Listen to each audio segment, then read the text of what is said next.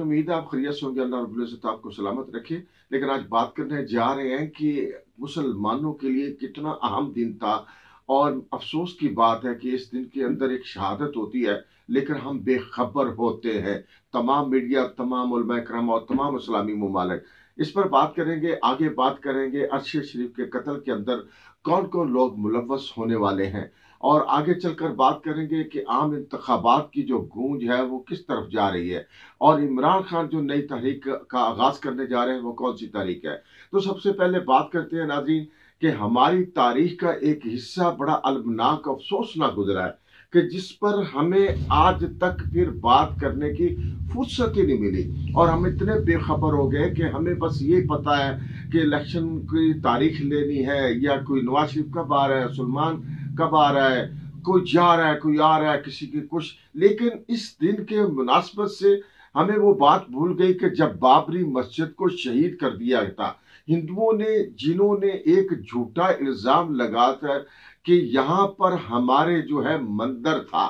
तो ये एक मुसलमानों के लिए बड़ा ही अफसोसनाक दिन था। 6 दिसंबर उन्नीस बनवे को ये वाक्य बाबरी मस्जिद का पेश आया और ये बाबरी मस्जिद जहीरुद्दीन बाबर ने इसको तामीर किया था। ये तारीखी मुसलमानों की मस्जिद थी। लेकिन अफसोस है कि भारत की अदालत के अंदर जब यह केस गया, लेकिन ज़ाहिर है अदालतें वहाँ भी अंडर प्रेशर आ जाती हैं, बिकती हैं वहाँ की अदालतें। तो वहाँ बीजेपी और आरएसएस के गुंडे जब सब जमा हो गए तो अदालत को भी ये मजबूरन फैसला देना पड़ा और वहाँ पर उन्होंने अपना मंदिर तामीर कर दिया। लेकिन आज देखिए कि सऊदी अरब और तुर्की और ईरान और पाकिस्तान और मलेशिया जैसे ममालिक ने जो एक उम्मत मुसलमान की लीडरशिप है, और जो ये कमान करते हैं पाकिस्तान नहीं बल्कि पूरी उम्मत मुसलमान की।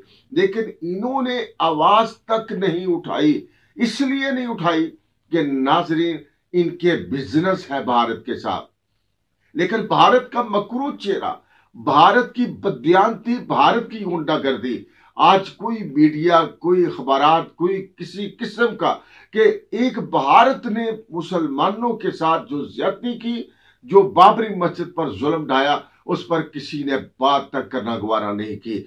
लेकिन बहरहाल, हमारा तो फ़र्ज़ था, हम ये बात कर रहे हैं उम्मत मुसलमान के सामने कि अपने अपने तौर पर इसको उजागर करें कि ये ज्यादती की गई बाबरी मस्जिद को शहीद करके वहाँ हिंदुओं ने जो ये मंदिर बनाया। तो नाजरीन आगे चलते हैं कि जो अरशद शरीफ कत्ल की जो एफ़ है, सुप्रीम कोर्ट ने उसको दर्ज करने का हुक्म दे दिया। लेकिन वहाँ थाना के अंदर, इस्लामाबाद के अंदर मुकदमा दर्ज हो गया, लेकिन वहाँ मुदैयत उसकी वालदा नहीं बनी, ना उसका कोई खानदान मुदई बना। लेकिन इसके अंदर मुदई जो बने हैं वो एस एच ओ साहब बने हैं। यहाँ फैक्ट कमेटी जो नाजिर बनी है, सुप्रीम कोर्ट ने उसके कमिट्स मांगे हैं। लेकिन हुकूमत वो देने से अभी तक गुरेजा है। अल्लाह जाने क्यों? लेकिन इसके अंदर नवाज़ शरीफ भी फंसने वाले हैं, इमरान खान भी फंस सकता है। इसलिए कि उसको भेजने की जब बारी आएगी कि उसने मुल्क से बाहर किसने भगाया, किसने उसको जाने पर मजबूर किया तो इसका एतराफ इमरान खान कर चुके हैं। कि उसको मैंने ही कहा था कि तुम पर मुकदमात है यहाँ तुम्हारी जान को खतरा है, लिहाजा तुम पाकिस्तान छोड़कर चले जाओ। तो मियाँ नवाज़ शरीफ पर जो एक अल्जाम लंदन के अंदर तस्नीम हैदर शाह ने लगाया, उसकी भी एक अदालत के अंदर केस चल रहा है। नाजिन देखते हैं वो केस अगर तो उसके अंदर वो प्रूफ देने के लिए, सबूत देने के लिए अगर वो कामयाब हो गया, अगर वहाँ गिल्टी महसूस हो जाती है मियाँ नवाज़ शरीफ तो ज़ाहिर पाकिस्तान के अंदर भी फिर उनके गिरफ्तारी के अमकान बढ़ जाएँगे। तो आगे चलते हैं नाजीन आम इंतबात की जो गूंज चल रही है, वो हो सकता है महाराष्ट्र को लेकिन इमरान खान ने इस पर ये क्या किया है कि उसने अपनी इस तारीख को जारी रखने के लिए, लोगों के अंदर इलेक्शन की फेनस देने के लिए उसने अपना काम जारी रखा और आज से वो तारीख का आगाज़ करने जा रहे हैं। और उसकी जो तारीख है वो यही होगी जिसका उसने नाम दिया है कि मुल्क बचाओ और इलेक्शन कराओ। ये तहरीक का उसने आगाज़ कर दिया है।